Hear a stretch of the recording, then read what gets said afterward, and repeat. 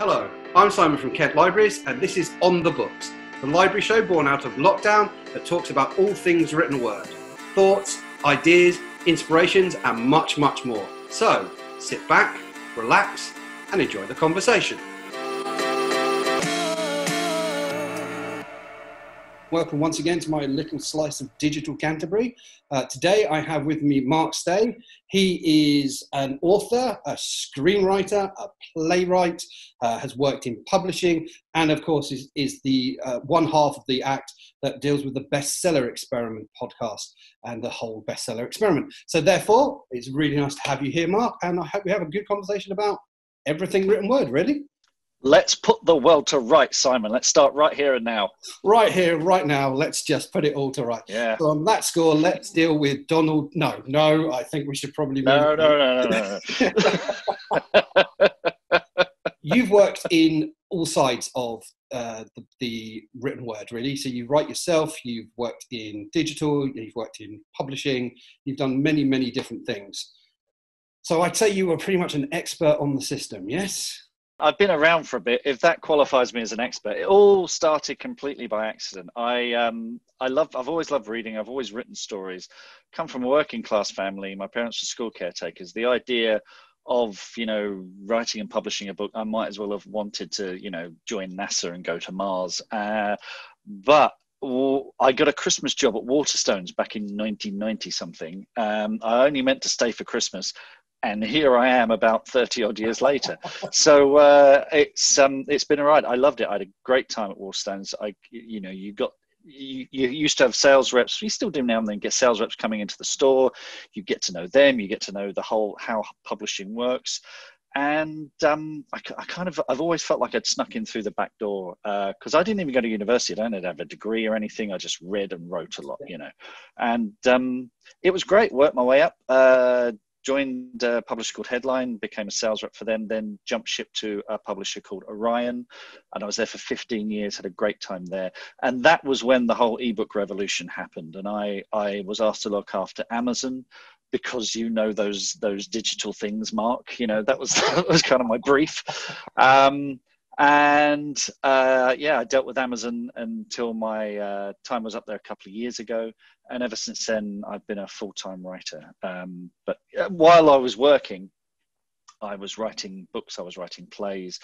My wife and I started a theatre company, uh, which is one of the best ways. If you're writing, you want to know what an audience likes. It's great because we we acted anyway. I, I, wanted to be an actor and somehow ended up as a writer. But my wife went to drama school, and we have lots of actory friends, so we would put shows on and I, I, I wanted to do a Johnny Speight play, and he passed away, and I couldn't get the rights to the play, so I had a venue booked but no play. So I wrote a play about all the terrible camping holidays my family had taken me on as a child, and it was more therapy than play. But um, uh, my dad actually did threaten to sue me, and um, it went down really well. People really liked it, and a friend of mine who by then he was work he was like a cable basher. He now makes documentaries. We're doing this. Jeremy Mason, the guy I'm doing this oh. YouTube thing with.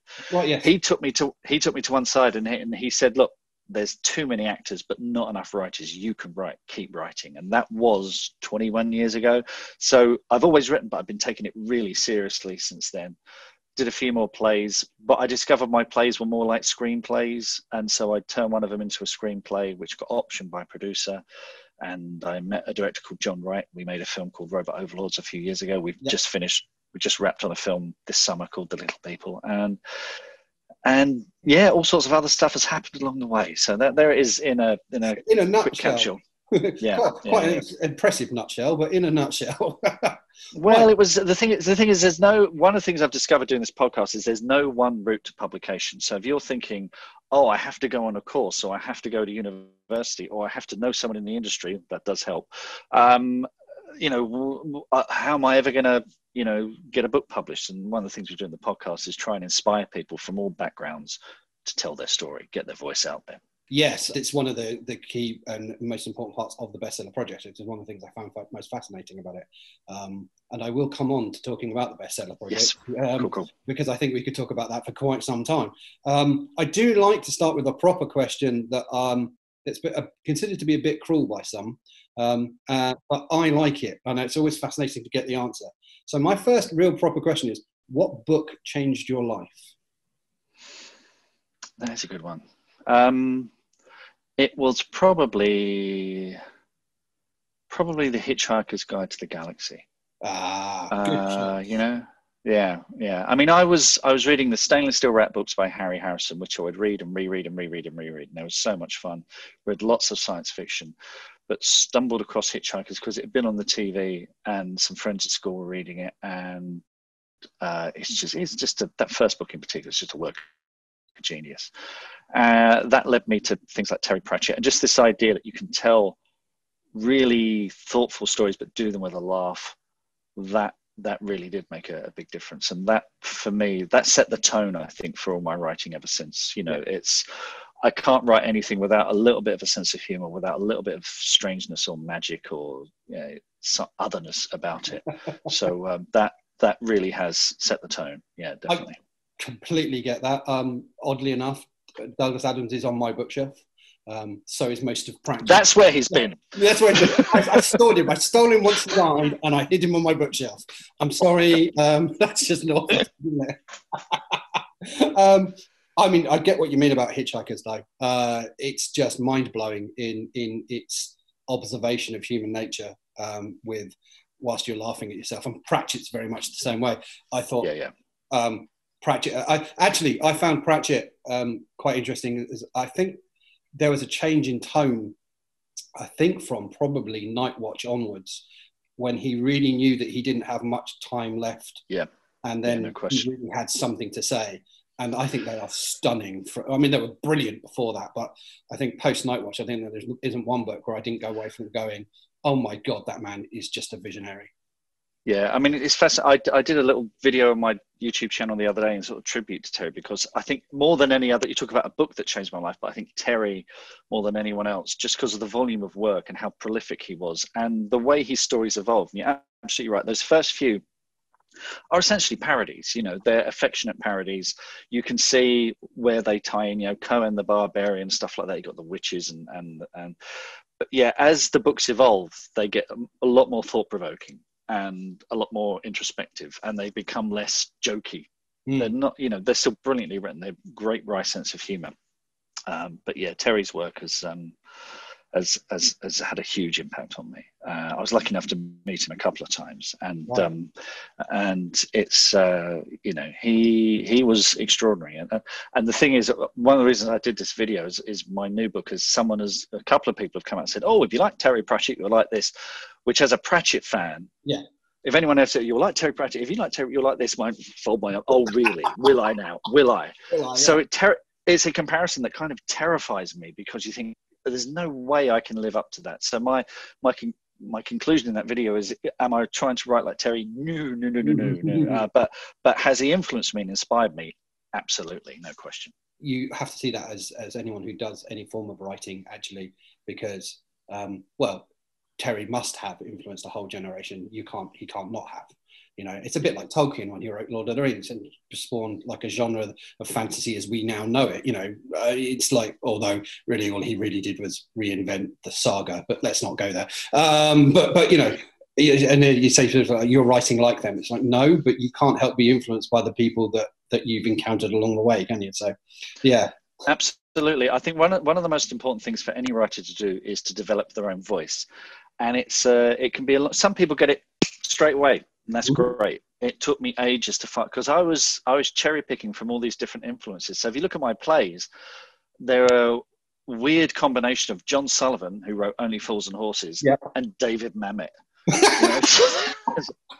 and you, and it wasn't quite me, you know. And I've got to the point. It's taken me a long time to get here where I am writing like me you know i i can just sit down and get it on the page and it's it's it's my voice and it's um isn't it, it because the temptation particularly if you read someone as witty as douglas or terry mm. uh, robert rankin's another big influence yeah. uh, is is that you kind of think oh i can uh, if i tried to make a clever joke like douglas adams i would it, you'd see through it you know you'd see through it but if i can be influenced and inspired by them and just put that my own kind of humor and spin on it then you end up you know speaking in your own voice and it's it's it's something that it took me a while it took me a long long while but i think i'm finally there i mean that's that's um it's actually really fascinating here because i think we I could be wrong. I mean, my experience of growing up, and I've got some questions about um, education uh, and, and our, my age group, as it were.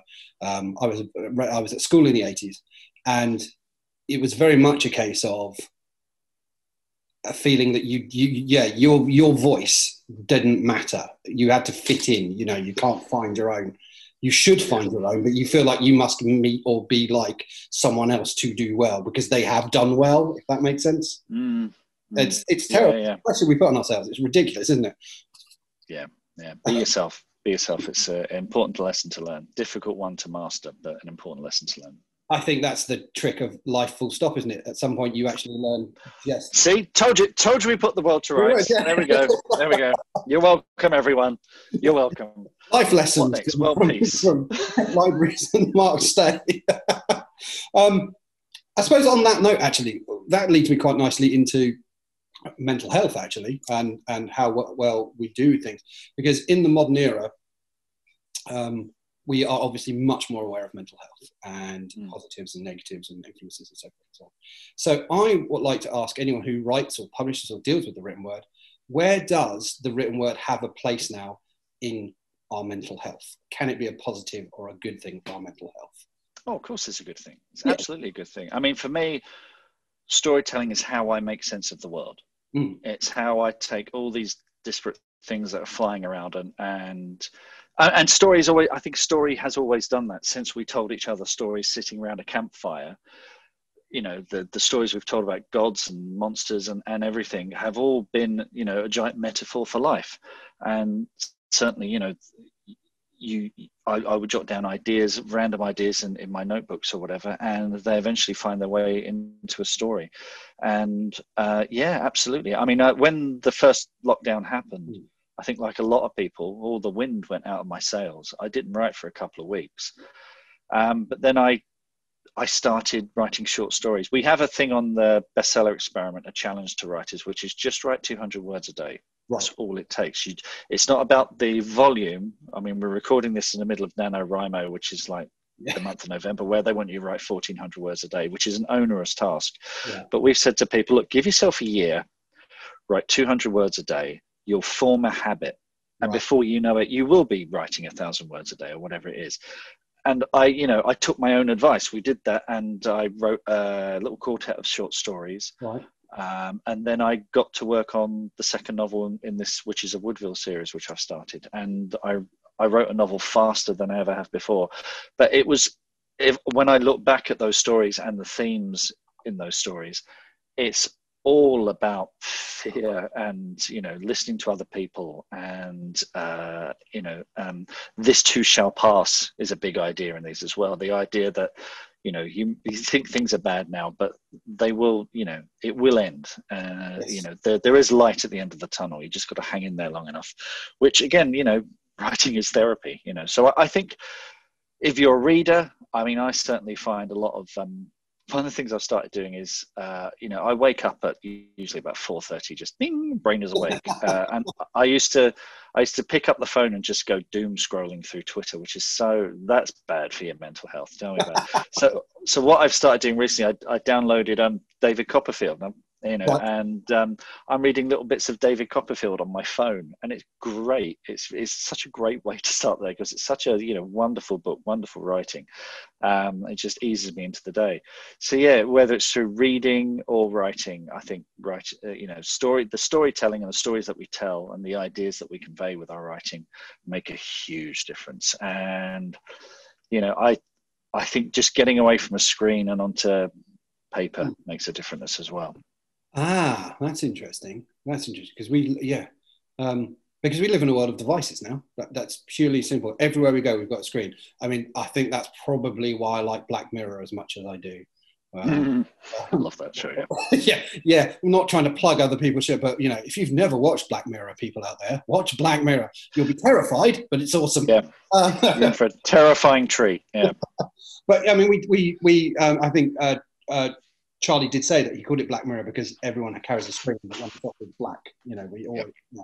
Um, and what you were saying about writing on paper. So, I mean, in, I think I know where you're going to go with the answer for this, but because we live in a world of devices, is there a place now for the written word? Do you think in its usual format, or does it have to morph massively, or is it still going to always be there? How how do you think devices have affected the written word? I suppose is my question. Uh, I think there's been a huge positive in that mm. people are reading more than ever before, and reading on you know Kindle devices or Kobo devices or whatever device you got on your iPhone or whatever.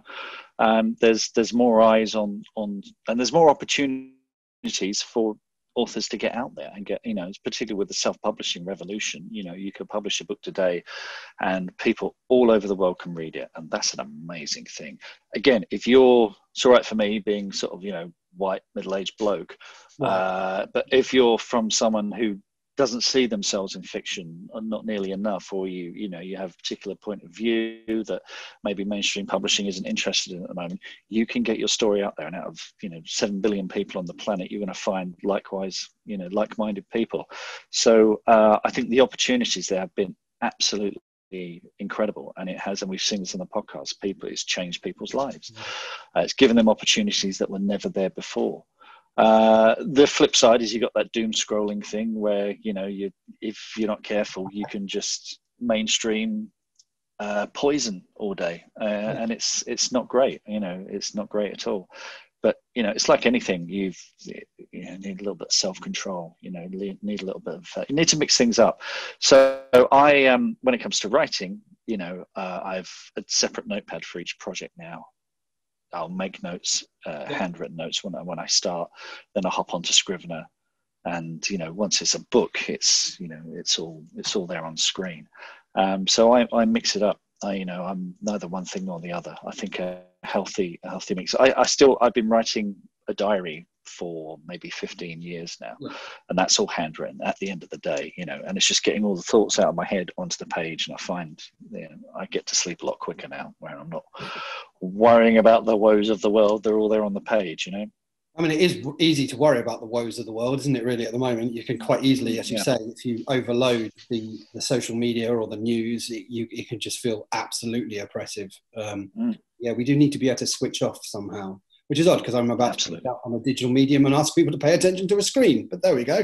Uh, um, that's actually led me to two questions I, I think I'd like to ask you next. The first one being, and you've alluded to it there, uh, growing up for me, and I know it has changed, but growing up for me, it was very much the idea that publishers were the gatekeepers to mm. the written word, very much so. If you couldn't impress a publisher, you didn't stand a chance. Um, so I think you've kind of answered it, but but it's that that's gone now, I suppose, with self-publishing. It's it's well, it's still there. I mean, it's still there. It's uh, uh, it used to be a very very clear path to publication with all sorts of hurdles to overcome. So you had an author, and then you had an agent, and then you had an agent who had to convince a publisher, and then a publisher that had to convince book chains, and book chains that you know had to market you. And then eventually, at the end of that, is the reader. Now these days, you can have a very you can hop, skip, jump over all of those and have a direct relationship with your reader, which for authors is a great thing. One of the first things we say to authors is before you do anything, start a newsletter get a very basic website up, start a newsletter, start that relationship with your readers from day one. And they'll say, But I've not written anything yet, I haven't finished my book. Doesn't matter, take them on the journey. You know, put regular blogs up saying, uh, I'm stuck in Act Two, I don't know what to do, blah, blah, blah. And you'll find like minded people will go, Oh, I'm doing the same thing, you know, I'm stuck too and this is what we found with the podcast you know it's uh, the opportunities are there. So but that said you know my next book is coming from simon schuster major major publisher one of the big five and there's a reason i wanted that you know. I've self-published i've hybrid i've crowdfunded um, you know i've uh, gone and did my first book. So i think it's horses for courses and the choices are there. So uh, you know if you want to go the mainstream publisher route then it's there it's it's just as difficult as ever. Right. But uh, if you want to self-publish, then boom, you can do it today, right now. Right, yeah, I mean, so it's options. That's really what you're saying. Now we have options. Absolutely. This is absolutely. Yeah, yeah. That's that's that's interesting. It's it's because I obviously I work at the at the end game, as it were. I, I'm surrounded by books. That's that's what I do. I, I I deal with people coming in to pick books and, and read them, but but in reality, we have no clue of what actually is the process the person has had to gone through to get the book where someone can pick it up and read it. Um, and most yeah. people, I don't think, have any idea what that involves or how that that that process happens. You just kind of go, oh look, there's a book. I'll pick it up. You just don't think about the process, the work that's gone to get that thing to you in your hand. So it's fascinating to hear that side of things. It really is. Yeah, it's one of the things we wanted to do with the podcast was demystify the process and show just how hard it, it really, really is. Um, because I think there's there's an assumption the, the only time you ever see book deals in the papers is where someone's signed you know million dollar deal yeah. or whatever and it's really big you know the richard osman deal most recently uh, for example. And people assume all book deals are like that you know. Oh you're a millionaire. No no, no. Advance, advances are smaller than ever on average you know. Authors are generally quite skint. Um, and so yeah anything that can demystify that process is, is a good thing and that's something we talk about. But it is incredibly hard work. People pour their heart and soul into these books. And uh, you know, it's uh, when you get that one star review on Amazon or whatever, yeah. it can it can be heartbreaking. But that's why we form this community on the podcast, so we can all, you know, buoy each other up and share these experiences. I think it's about time we talked about the uh, bestseller experiment then, since since we've been alluding to it for a while. What was the genesis then? What, why, how did you were Mark and Mark and Mark? How did you come to go? Let's do this. Well, I, I, I got a. I, I wrote a film called Robot Overlords a few yeah. years ago, which came out. And while we were in post production, the producer said, "Oh, we could do games. We could do a book." I said, "I'll do the book." Uh, and I know who can do it because I worked at Orion at the time, and what the science fiction imprint at Orion has gone. It's one of the best. Yeah, no, I, I've got yeah. published by Orion. I was like, oh, but anyway, by the way. yeah, so uh, so yes, I wrote the film tie-in to Robot Overlords, which was a brilliant experience. I really enjoyed it. I got published for the first time, which was terrific. Yeah. And a friend got in touch out of the blue. Someone I knew as a teenager. We went to different schools. We'd seen each other at gigs and parties and things. We weren't close friends or anything, but we knew each other. And uh, a guy called Mark Desvaux, who lives yeah. out on Vancouver Island now. He, you know, he grew up in the UK, moved to moved to Vancouver Island, and he's a real doer you know he makes yeah. things happen you know he's he's he's now a life coach but he's done all kinds of entrepreneurial things in the past. And he dropped me a line and said this is great. You're living the dream. You've made a film. You've written a book.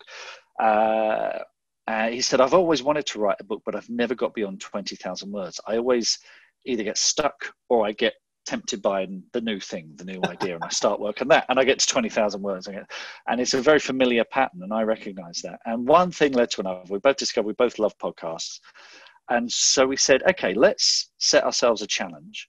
Let's challenge ourselves to do a weekly podcast where we talk to people in the industry, authors, editors, all the insiders, we ask them what makes a bestseller, tell us about the craft of writing, tell us about the process of publishing, let's demystify it. And while we're doing that, we'll write a novel together, we'll self publish it, and we'll try and get it up the Kindle charts, yeah. you know, when we publish in 12 months' time. But the key thing we did, the really important thing we did, we said there's going to be people out there with a half-written novel in a drawer where yeah. you know tucked away or like mark they've got 20000 words they've never got any further or they're starting from scratch and we said to all of our listeners beat us to it and that was the best thing we did because quite a few people did. uh, you know, we've got, I've got, I've got a huge. Let me show you these. There's, you know, there's one pile there. Yeah. Uh, you know, there's more books here. All of these people. Oh, there's another pile there. All of these people were inspired by something they heard on the podcast. So you know, we're talking about Gollancz. So Mike Shackle there, he's got. Uh, yeah. Uh, he got a three book. He got a three book deal with Gollancz. He said he was on the verge of giving up writing for good yeah. when he heard our interview with Abercrombie. He was inspired to write this three book deal with Gollancz, part two coming soon. Wow. Uh, we've got uh, award winners here. Uh, who else we've got? So, uh, yeah, RNA award winners Penelope Hughes. Lorna Cook was an, uh, an Amazon bestseller. Uh, Ian W. Sainsbury, he won the Amazon, um, what's it, award? I forgot what it's called now. Sorry, Ian. you know, we've got award people have done much better than we have. You know, they've just yeah. done incredibly well uh, because of this podcast, and it's the best thing that you know we ever did. And the great joy for me is a week doesn't go by where I haven't learned something new and extraordinary from you know one of our guests and all the feedback that we've got from our listeners. So it's um it's been brilliant. We're 300 and 50 well maybe i forget i lose count but we're hundreds of episodes in but you know if you start from day one and follow us through uh, or just pick it up next week. Uh, next Monday, we've got Rowan Coleman coming right. on the podcast. A week before, we had Sally Gardner. Yes. Um, you know, so we're getting these amazing authors, and every week it's different. Every week there is a different path to publication. So we re- really want to dismiss this idea that there's only one way of doing it, as you said. You know, the agent uh, publisher kind of path. Uh, people, you know, there, there have never been more opportunities to get your voice heard. It's it's a fantastic time. It really, yeah, I really really appreciate and, and applaud the message. Actually, that would that's something we're, we're behind in the library wholeheartedly on that one. The more voices, the better, really. Yeah, uh, absolutely. Absolutely. Uh, what I'm fascinated by when I talk to people, especially, is, is creativity. I think creativity is is much undersold thing. In fact, actually, I, did you ever watch the Sir Ken Robinson TED Talk on creativity, the famous one? No. Have you not? No, no. Something no, you no, watch. No. Uh, I mean, uh, Sir Ken Robinson's um, passed now, unfortunately, but he did a TED Talk. I think it was about seven years ago. You can look it up on YouTube, where he talked about creativity in schools, and he basically said we have a system that crushes creativity, and if if we don't have a change we are going to hit a horrible situation. Um, mm. You know, um, so you are a creative person, uh, very creative person. You've got your fingers in many pies when it comes to creation. So I was just wondering where you think creativity sits in in our lives. I mean, as a person who is creative, you're going to think it's very important. But do you think other people see it as as important as, as you do, or as myself I do personally? The thing that's come out of the lockdown is, you know, we've all been shut away. Book sales have gone through the roof. People are listening to more music. They're um, they're missing going to gigs. They're missing mm. dancing in groups. They're my wife is a bell ringer, which is a creative what? thing. You know, yeah, yeah. She misses going bell ringing. Uh, we've you know we've all devouring Netflix. Now, all of these things are creative enterprises. Yeah. Uh, you know, we I think we've realised that maybe we've taken them for granted in the past obviously funding for creative enterprises uh, could be better could be could there could be more recognition for it. I mean the publishing and film industries which i primarily i primarily work in bring in a lot more you know than some other industries that perhaps have hit the headlines you know? Yeah. fishing. Um, you know so so apologies to all fisher fisher people out there but you know it's some time has moved on and uh, we're you know this this is a hugely uh, important in industries that we work in and they have been taken for granted. And as as we discussed earlier they help people get through the day. Yeah. uh, watching a bit of tv reading a book listening to some music going to a gig seeing people dancing whatever it is those creative ideas they inspire us, they soothe us, they're, they're a balm, they are more important than ever. And, um, you know, to take them for granted is, is a very bad thing. Uh, so, yeah, I, I, I, think it is important uh, and more important than ever. And it's odd, you know, you look back at history, difficult times do tend to, you know, inspire some great work. I mean, yeah. you look at, say, from 77 to 83, the, the films and music music that came out of that period where you know the economy was in the doldrums. Uh, you had punk come out of that, yep. and disco, and yeah. move movies, and you know, so it's um, it helps it helps us put pen to paper. It helps us, you know, hammer the keys, and you know, hit those power chords and what have you. So I'm not, I'm not going much into education policy as a government thing, but you know, it's all about the arithmetic, you know, it's all about English, it's all about the C's, and it's all about the STEM subjects. And I get why you need that in a society. You do need that, but if you look, like I say, if you look back through history, the periods that we really remember, like that stand out, are well, Shakespeare and the Elizabethan era, which was a massively creative period, the Renaissance, which was a massively creative period. You know, our epochs are done by, by massive.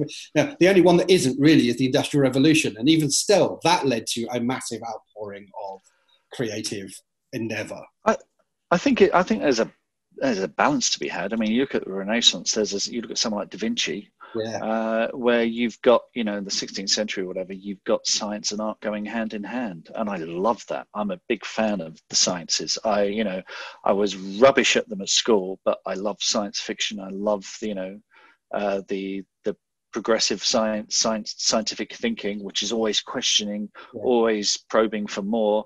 I think that's amazing, and it's led to incredible achievements. You know, not least you know vaccines uh, and Oh, good dentistry. I'm eternally grateful for these things. So yeah, I think it's um, it's uh, and we've always, I don't know. I mean, you know, science can always be taught better at schools. Creativity can always be taught better at schools. I mean, you, you're talking about teachers working with fewer and fewer resources each year, doing their absolute best. You know, passionate people trying to work with what they've got um, and inspire kids to go on. But you know, it's um, but then I look at the, I you know, my son finished school this summer, but you know, we um, we we you know, you go to schools and they've got they've all got iMacs with editing studios in them, equipment I would have killed for had I been at school, you know. So it's uh, again, there's opportunities there. The thing that gets me is is when when my kids were much younger, there was this emphasis when writing on correct writing and uh, what they call wow words, you know, those big elaborate words. And I'm sitting there thinking, yeah, you send that to an editor, it's the first thing the editor will cut from your manuscript. You know? Really? yeah, absolutely, absolutely. All those big words, all those big words. You know, it's kind of yeah, no, keep it simple. But um, I, I don't know. Things change, things evolve. Uh, this, I'm not scared of change. I'm not scared of things evolving. I think we all have to uh, take it in our stride, really. Yeah, things change. Yeah, it's true. Nothing stays static. Absolutely nothing stays static. Uh, we like to think that it does, and actually, I mean, I'm a huge fan of history. I'm a massive fan of history. I read a lot of history. I'm really fascinated by history, and the bit that I love most about history is that it's not set. There's this assumption that it's the history, it's the past, it's the way it is, and it gets revised every day. Every day, something about it you thought was the way it was is changed because something's come up, or you've learned something new, or something's interacted differently. And you're like, yeah, nothing is set. Yeah, and that's what we're seeing with things like Black Lives Matter, where people will sort of give you a nudge and say, "Yeah, you thought you knew what history was, but let's turn back. Let's get a different perspective on this. Yeah. Let's hear from other people." And it may be upsetting to learn that in 1857 the British Army would tie people to cannons and blast them with cannons. You know, well, we did that. Yeah, we did You that. know, I know, I know we like to think of ourselves as a benevolent empire, but crikey, you know, and that's not taught in schools. You know, we we caused two famines in Ireland. You Yeah. know, uh, not taught that in schools.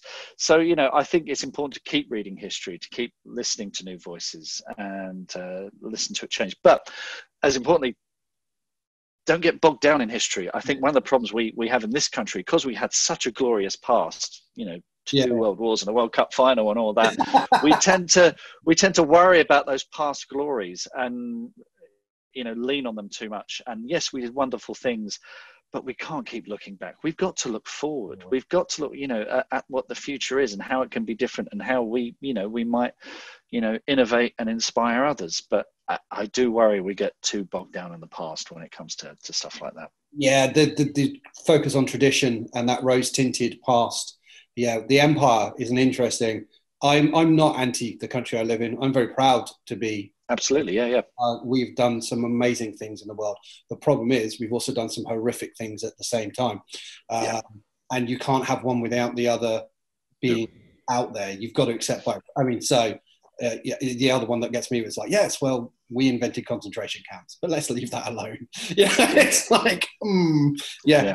but it doesn't detract from some of the absolute amazing things that this country has done. And I think that's where you get it's, it's either you're bashing and you've got project it, it's all got to be good, or if you're doing the other way, where it's like, everything was fantastic, you aren't acknowledging that actually we're human beings and human beings are flawed. That's what we are. Nothing is perfect. and this is this is where this is where creativity comes in because i think one of the great things about being a writer when you're writing stories with protagonists and antagonists heroes and villains you have to put yourself in the shoes of the villain. You have to be the bad guy for a short while. You have to see things from their perspective. And if you paint them as a black cat villain you know you're doing them a disservice. You you there has to be a bit of light and shade a bit of balance you know. And through uh, actors do this too. This is why actors love playing villains because they get to be the bad guy for a while and try to understand their motivations and where they're coming from and what drives them. And that, you know, that understanding to dismiss someone as, oh, they're evil, you know is is the wrong thing to do. You know the creativity allows us to understand the terrible things that people do and why they do them and how maybe we might prevent those things happening in the future. Uh, so yeah the, another reason why creativity is is essential. My favorite thing with villains and I'm, i might be of the zeitgeist my era zeitgeist because definitely villains got complicated is, is the recognition that a lot often the villain doesn't think of themselves as a villain that they're doing something for mm. a reason that there isn't very rarely is there straightforward evil. Uh, Lord of the Rings, my favorite book in the world, uh, well, one of them. Uh, it's one I read so often. Sauron is really uncomplicated. He is just an evil force in the background, which means he's boring. No, no, not not to not to dismiss my favorite book in the world. It's not the villain that makes that book amazing, but he's dull. He's absolutely dull. Um, whereas, um, but think about Hannibal Lecter. Okay, Lecter, Hannibal Lecter yes, is a great example perfect, of yes. this. Who, you know, who um, I mean, that book, Silence of the Lambs, it kind of almost almost killed off the horror genre overnight yeah. because you used to have before that. I mean, you had greats like James Herbert and, and yeah. Stephen King. Uh, who again wrote wonderful malevolent characters but you know before that you might have had um, you know Dennis Wheatley, where it's the devil or whatever. There's some there's some like Sauron, some big malevolent evil that's incomprehensible. Silence of the Lamb humanized evil, uh, Silence of the Lambs rather, and and gave us gave us in, in the form of Hannibal Lecter, who's charming and erudite, uh, but will bite your face off. and you know, it almost killed off the horror genre. Horror writers were suddenly writing thrillers now, you know, yeah. psychological thrillers, and that's that's that was a relatively new term, psychological thriller, where you get inside the mind of of murderers and evildoers and what have you, and it kicked off a whole new genre and changed, you know, that that that kind of fiction forever. Um, so yeah, it's. Uh, we demanded more. We wanted to know more, and that I think was a great evolution in, in, in publishing for, for better or worse. You know, yeah. the loads of copycat kind of serial killer novels that, that came after, such as such as the way the Zeitgeist. But um, yeah, nothing was the same afterwards. Speaking of nothing that was the same afterwards, I'm going to ask you a question about something that I read uh, for yourself. Um, so I missed the Star Destroyer coming onto the big screen. I was not quite old enough to actually see that the first time round. Uh, I only saw yeah. that the first time round on a small screen, and then much later in my life did I get the opportunity to sit in a cinema and watch that great big triangle roll overhead with that rumble and that music, which was, you know, by that point my life had already been changed. So, but I want to ask you the question: Why do you think that that film, as a, as a film writer, uh, as a screenwriter, was so life changing for so many people? Because it's totally changed pop culture. It totally changed pop culture yeah, again for better and for worse. Yeah, yeah, yeah. Again, lots of lots of copycat stories that never really understood it. Uh, I mean, I was five. You know, I was five years old. I'd never seen anything like. Before that, I wanted to be a firefighter. A fire engine came to the school. I got to sit in the fire engine, put the hat on, make the noises. Yep, this is the life for me. Yeah. So I could have, I could have been something useful in society, but instead, I'm doing what I do now. uh, and I, my, uh, there's an argument. Mum and Dad because I saw it twice. Mum took me one time, Dad took me another time. There's some argument over who took me first. I yeah. think it was Dad. Mum claims it was her. Um, but yeah, just sat there, and this Star Destroyer come, and keeps coming and keeps coming and keeps coming, and immediately, um, whatever that is, I want to be part of that. Yeah. What is that? And I read the Star Wars novelization, the junior novelization, the the the adult one, and then you'd see articles about it, and you discover that people made films. They didn't just appear magically on the screen. There was this fellow called George Lucas who wrote and, and, made this film, and he had all these other guys who who made models of spaceships and things. So it's um. But I, I think the reason it resonates is because he wrote a fairy tale, this kind of Joseph Campbell inspired mm.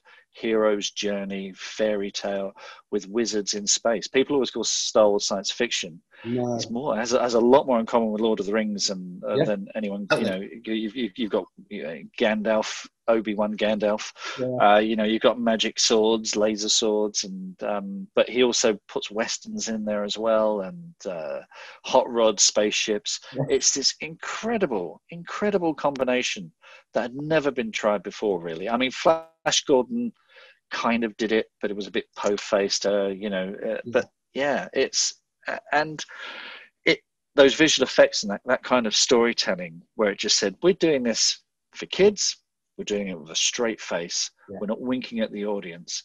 Uh, you know, you, there's a reason why people put Jedi as their religion on, you know, yeah. whenever there's a census because it is kind of almost like a way of life um, because it does explore some of those things in, in quite naive way. Uh, but it, it, and it came at a time, you know, 77, it came at a time, economy was in the doldrums, films were incredibly depressing, you know, other movies that year were like Taxi Driver. Of course. Uh, the film, famously, the film that came after um, Star Wars at the Mann Chinese Theatre was William Friedkin's Sorcerer. A fantastic film, brilliant, brilliant film, but tense and intense and kind of depressing without a happy ending.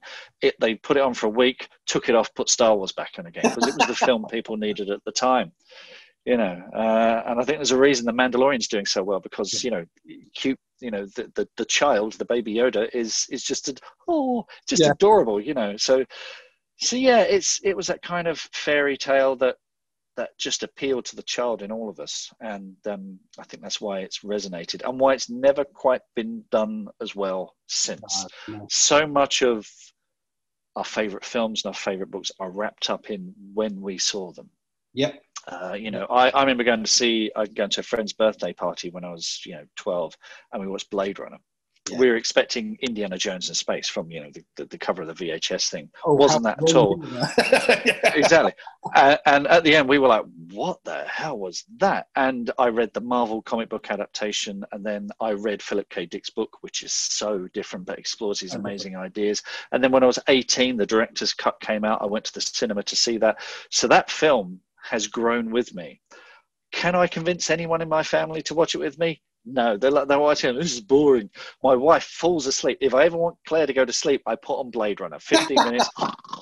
you know, but because it's travelled with me, it resonates with me and has an importance with me. So I think you know, if you see these things at an impressionable age, they have a huge influence on you. And people like me, who saw it when we were five, we brainwash our kids with it. We, you know, we do. We have conversations where we go, what film do we show them? Don't show them the sequels first. Don't show them the, sequel, the prequels first either. Show them the original four, five, six. You show them in that order. You know, you have whole conversations in the way that you know perhaps religious folk might talk about you know, what kind of um, Bible stories they they will, will teach their children. Let's tell let's tell them about the flood uh, yeah. before we talk about don't you know uh, the, Abraham sacrificing his child. Let's start with the nice story. Yeah. So yeah, it's um so yeah, it is kind of a way of life, uh, which is so odd. I mean, you, you know, you, as as a creative, you want to have, you want your stories to resonate with people and their lives, but you know that is a once in a lifetime kind of thing, once in a generation kind of thing. That it really is a lightning in a bottle. That really is that just it all comes together at yeah. Yeah, and you yeah, won't get that again. Um, I, I get. I mean, with film, I know I know we're not really meant to be talking about film, but I know film has this kick at the moment with the nostalgia kick. I was caught with it myself. Um, uh, uh, Jurassic Park is one of the films that I remember going to see. I was 15, and it's like one of those seminal films in my life because I it was mm. just I was blown away in the cinema. And of course, when Jurassic Park, uh, The Lost World came out, or the, the the, the new one, it is Lost World, I think it is. Um, Jurassic World. Jurassic World. That's it. Sorry, Jurassic World. And the the the um, the tune, the, the, the trailer for that came out, and it was just the slowed down piano of the Jurassic Park theme, and m- mercilessly picked by the the um, media and advertising uh, moguls behind that. The, the, the, creative team behind that knew exactly what they're doing, and I knew exactly what they were doing, and yet it still did it to me. I still was like, cool, yeah. just like that, geniusly yeah. clever, and rather terrifying at the same time, really. But there we go. Um, yeah. Yeah. um, I, I want to move on to um, the Crowfolk, actually, the, your latest uh, offering. Mm. Well, yeah. Tell us about that. Yeah. The Crowfolk is the first in a series called The Witches of Woodville. Yeah. And Woodville is a fictional village in Kent yep. uh, where strange things happen. Yeah. And the first story is about a young woman called Faye Bright who discovers a book left by her late mother uh, she opens it up and it's full of uh, spells, incantations, sketches, uh, and a recipe for jam roly poly. and uh, she thinks, hang on, was mum a witch? And so she starts dabbling in magic and strange things start to happen. And at the same time, this is set in June 1940. Yeah. There's a war going on, just been defeated at, at Dunkirk. Uh, Battle of Britain is about to kick off, and she's looking for some kind of purpose in life. And also at the same time, the village is besieged by the crow folk, which are scarecrows come to life, led by a charismatic scarecrow called Pumpkinhead, uh, who has some strange, nefarious purpose. And the plan is that as the war goes on, Faye will discover more about her mother, about her powers, about magic. And while the war is going on, she will be fighting supernatural forces with the other witches in Woodville. So um, it's it's been a long. This has had a long, long, long, long gestation. Um, yeah. But it was when my it was my script agent because I'd I'd written a kind of a TV pilot that was modern day, and it yeah. didn't. There was something about that didn't just click. It didn't quite work and he said um, he was talking about selling it to the Americans. He said, "Well, maybe you know, uh, maybe think about putting it in the past. Americans love history." And uh, one of us came up with, "Oh, what about World War II?" And that was it. That was the missing piece. Putting it in the home front, World War II magic. It's basically a bit like the last 10 minutes of Bedknobs and Broomsticks. Yeah. So, uh, you know, so that'll give you some idea.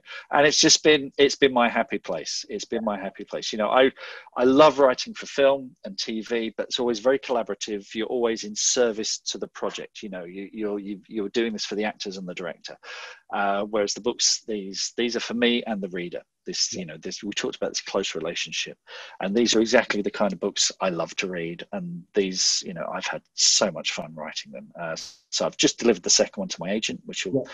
you know so book one the crow folk will be out in february 2021 yeah. the second one we're hoping for halloween next yeah. year and then a third one after that and hopefully more and more and more and more i mean i would love to just keep writing these for, for as long as I, you know, as long as I'm inspired to write them. So you've found your happy place, as you said then, at the moment. That's definitely, definitely, yeah. That's good. It's always nice to hear that. I mean, I was reading, uh, I was looking for, I was like, oh, that's the sort of thing I would like to read. Actually, why is it not here now? So I could read it and then talk about it.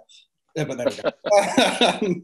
um, where do you get your inspiration, if you don't mind me asking? What what inspires you? Um, it tends to be whatever puts a fire in my belly, you know, whatever. Uh, sometimes it comes from a place of anger. Sometimes it comes from a place of just trying to make sense of things.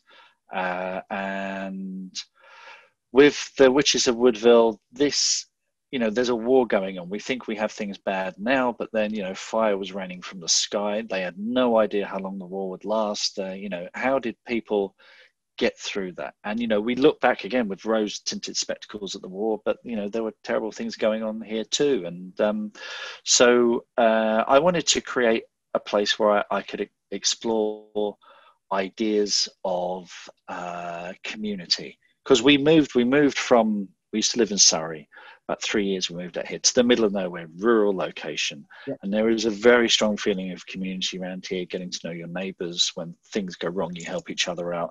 And I, I really, really like that, wanted to explore that. And, um, and just being inspired by I go for long walks, you know, so you I, I, become a lot more aware of the changes of seasons and I've got I look out I'm very lucky. I look out this window I, I can see birds and you know and things rummaging around in the garden. And um, you know wanted to explore that as well. But I just wanted to you know a good fun coming of age story with a bit of magic a little wry sense of humor and some little a little dash of horror as well. Because horror is very cathartic. The people I know who write horror and make horror stories are very well adjusted people they're the ones they're the ones who get all their all their stuff on the page they might look odd some of them you know they might dress like a goth or whatever but they are very well adjusted people. They've got it all figured out. It's it's the it's the people who write uh, you know um, people who write literary fiction. They're the weirdos. They're the weirdos. well, the fact you mentioned there's scarecrows in it, by their very nature, scarecrows are unnerving. I've, I've, yeah, I've never. Some of the creepiest things I've ever encountered in TV or the written word is the scarecrow, actually, and how they I mean, well, I, I the odd one. I, in the main, they are just unnerving. Well, I grew up watching uh, Jon Pertwee's Wurzel Gummidge. I loved the Wurzel Gummidge that was on TV at at Christmas, the Mackenzie yeah. Crook one, which was terrific. I really, really enjoyed it, the tone of it, and it has a lot in, in common with um, Crowfolk, which is a Woodville. But that uh, that Jon Pertwee was with Gummidge, where he would, you know, yeah. take off his head, replace it with another. You know, if you're six years old, you're watching that, it's like, oh, what? You know, it's it obviously had a deep psychological effect, which is probably what I'm trying to figure out with this book. Um, this idea that there could be people made of straw and where do these people come from? What, what are they? Uh, are they lost souls kind of thing? So there's a little bit of that in there as well. It's a, uh, dreams. sounds really fascinating, actually. Uh, yeah, when, when can I get? A, Oh, yeah, all right. No, I'm going to get a copy. You've got a book sold already. It doesn't matter. You've got one. um, you said this. You've always written. So when did you know you actually wanted to be a writer? Well, li- libraries are very important to me. We used to go to the library every week.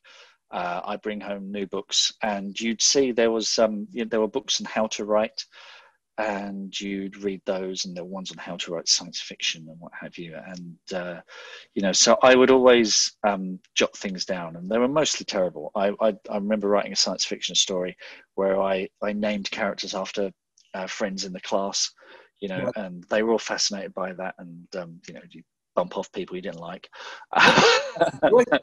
um, uh, I used to, where it really kicked in was um, me and a few friends, we uh, used to meet after school and write sketches together.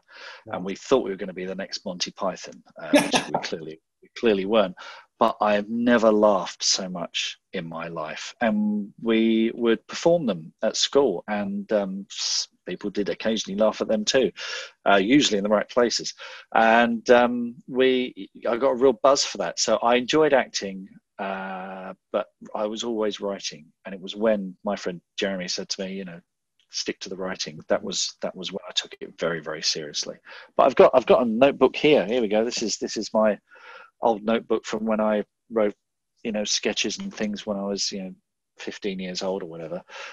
Um, so I've always been dabbling at it, but uh, and it, it is it's um it is how I make sense of the world, you know, and it's uh, I think without it I'd be completely lost. I'm compelled to do it. If people didn't pay me to, which I mean it's only recently they've been paying me to do it, I'd still be doing it anyway. So I think that's usually the sign of a writer.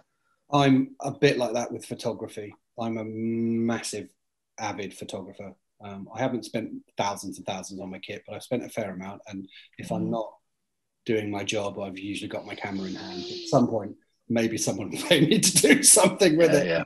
But yeah, I, I, yeah. I think yeah. if, if people ask me, I don't actually. I usually say I'm a photographer rather than my job because that's what I think I do.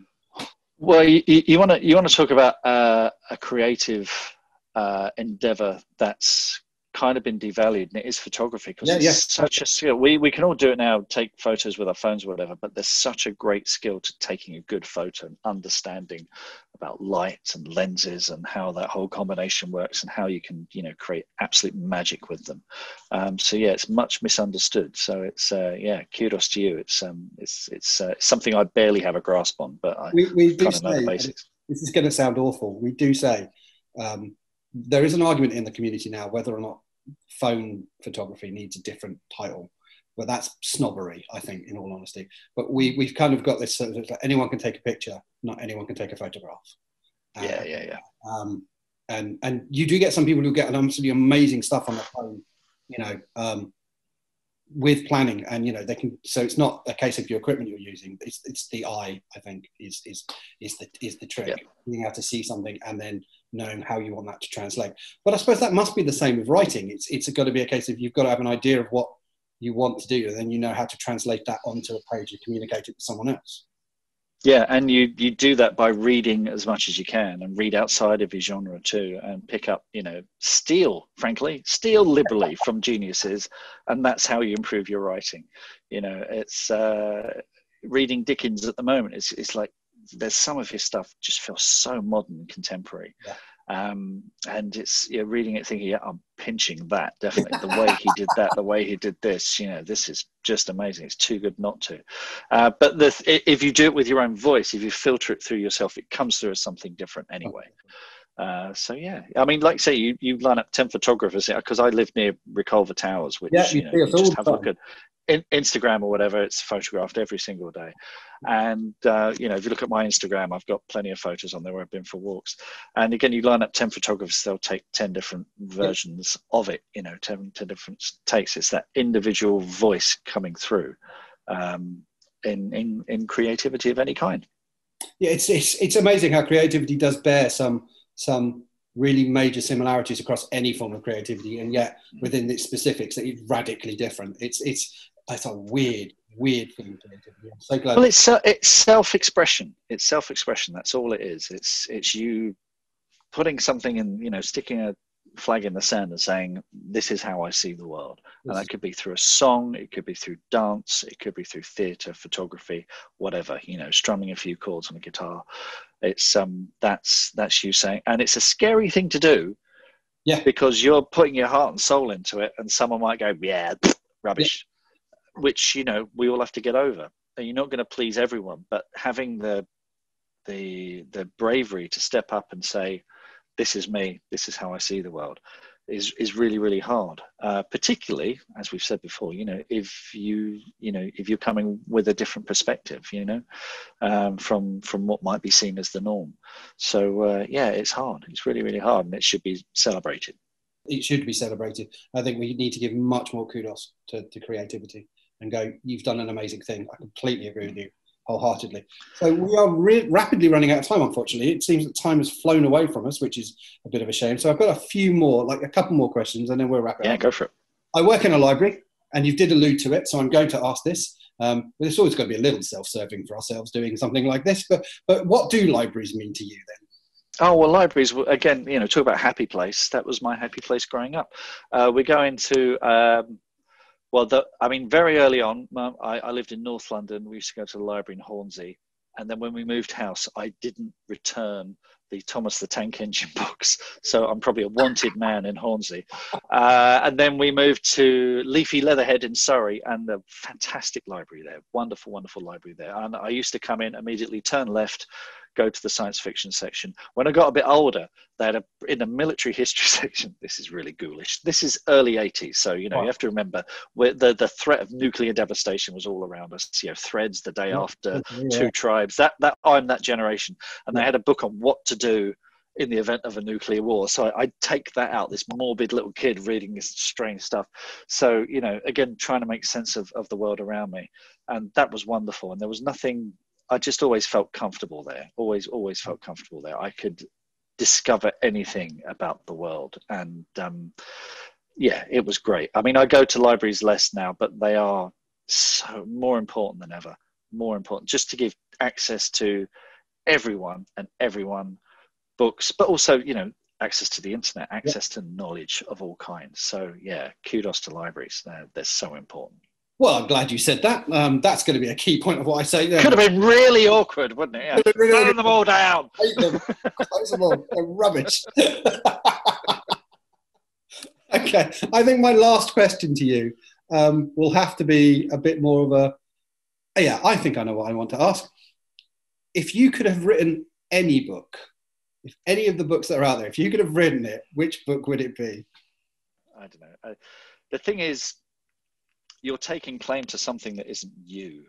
I'd Ah. love to say, I'd love to say Hitchhiker's Guide to the Galaxy, you know, but then that is an expression of Douglas Adams and the way he saw the world, and that's that's just not me. Um, I think I like I your answer more. Actually, it's not you, so don't do it. it's not it's not me. Maybe the Bible. I'd have written a happy ending. yeah, yeah. I, I always remember because I'm not far behind you, so I will always remember the Red Dwarf episode where they they, they announced they'd found the first. Page. found the page. yeah, no, I definitely rewrite bits of the Bible. Some, that, that's that's caused all sort, you know, the misinterpretation of that over the years. Yeah, you want you all, want all sorts of problems. yeah, you want um, parentheses going. No, this is what I mean. Yeah, yeah, yeah. Just you know, open the Bible. Be nice to each other. The end. Okay, Yeah. because that's generally the message of it. Anything else gets a little bit complicated. Be nice to each other. Look out for each other. Be cool. The end. The end. go. That's Yeah, that's that's the yeah yeah. yeah. You'll get you'll get complaints about this. I'm sorry about this, Yeah, Simon. You'll no, get no, complaints. can't present controversial ideas, then we shouldn't be in the business. It's really Right, exactly. Exactly. Yeah, yeah, yeah. Yeah, I agree. And on that note, I think we're going to have On that bombshell, yeah. on that bombshell. I think we're going to have to say thank you very much for your time. It's been an amazing conversation. Um, we've set the world to rights as we set out to do at the beginning, and um, Absolutely. I look forward to getting my hands on the Crowfolk. Remind us again, it's did you say February 2021? 4th of February, 4th of 2021. If you're one of these people who has access to NetGalley, Yep. uh, if you're a blogger or whatever, uh, it's up there now for you to Yeah. read now. I've just launched the website and the newsletter, and if you sign up to my newsletter, you get the first four chapters for free with with with an exclusive introduction from the Woodville Village librarian, Araminta Cranberry. Uh, so that's exclusive. You won't find that anywhere else. So pop along to witchesofwoodville.com, sign up to the newsletter, and you can have a little sneaky peek right now. Right now, people should Now, do that. now, I will do that. Yeah, right now. Thank you so much for your time, Mark. We hope you enjoyed the conversation with Mark. His book, The End of Magic, is available in the library now and where you'd expect to find good books. We can't wait for the Crow Folk to arrive, and we will shout about it when it does. You should also check out his podcast, The Bestseller Experiment. Fantastic. If you'd like further information on our digital services, then go to our website, kent.gov slash libs.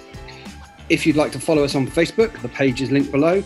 If you fancy this as a podcast, that is also linked below. We hope you have a good day. We hope you're well. Goodbye.